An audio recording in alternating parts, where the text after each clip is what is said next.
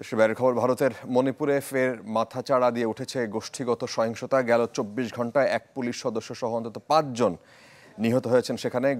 কয়েক স্থানে সংঘর্ষের ঘটনায় আহত হয়েছেন আরও অন্তত বারো জন। সরকারি হিসেবে এখন পর্যন্ত মৃতের সংখ্যা দাঁড়িয়েছে আশি জনে।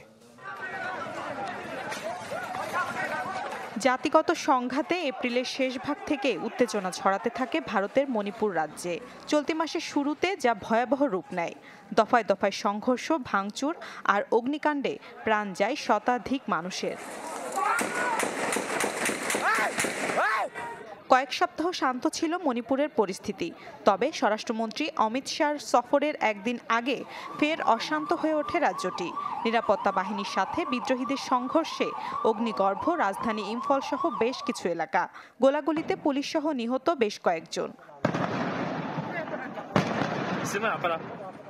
মুখ্যমন্ত্রীর দাবি এম সিক্সটিন ও একে ফোরটি সেভেনের মতো অত্যাধুনিক আগ্নেয়াস্ত্র নিয়ে সাধারণ মানুষের ওপর হামলা চালায় বিদ্রোহী কুকি সংগঠনের কর্মীরা। আশপাশের কয়েকটি এলাকায় তাণ্ডব চালিয়ে পুড়িয়ে দেয়া হয় দুই শতাধিকের বেশি ঘরবাড়ি।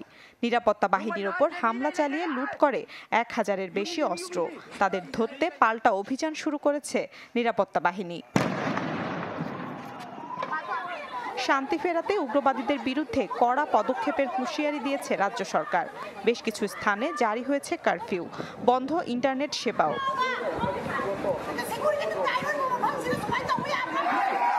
গেল তিন মে শুরু হওয়া ভয়াবহ সংঘর্ষে গৃহহীন হয়ে পড়েছে রাজ্যের পঞ্চাশ হাজারের বেশি মানুষ। নষ্ট হয়েছে কয়েক কোটি রুপির সম্পদ। সহিংসতা নিয়ন্ত্রণে সরকারের ব্যর্থতার সমালোচনা করেছে কংগ্রেস।